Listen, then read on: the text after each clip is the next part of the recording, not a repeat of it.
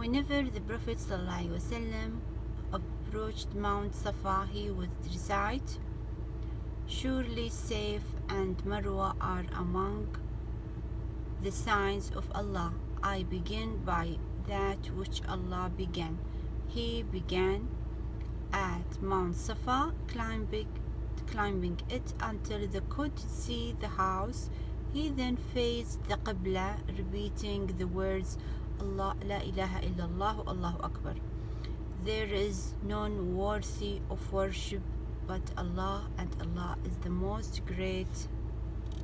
And he said, لا إله إلا الله وحده لا شريك له له الملك وله الحمد وهو على كل شيء قدير لا إله إلا الله وحده أنجز وعده ونصر عبده وهزم الأحزاب وعده